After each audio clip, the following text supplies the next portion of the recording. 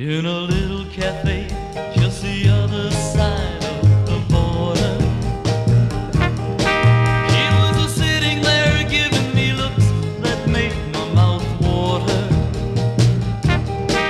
So I stopped.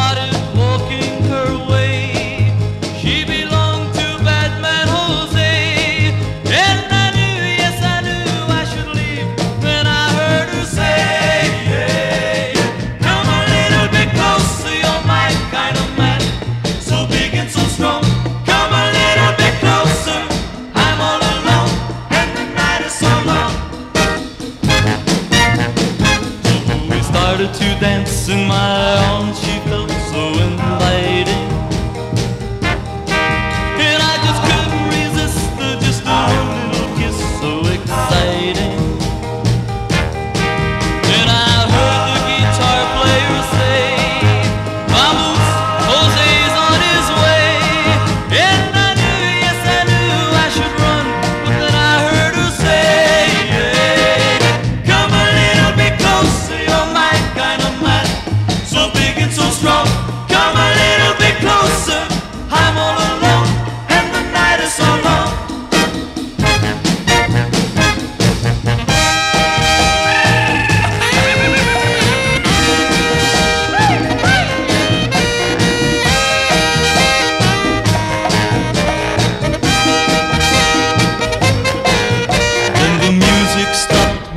I looked, the cafe was empty.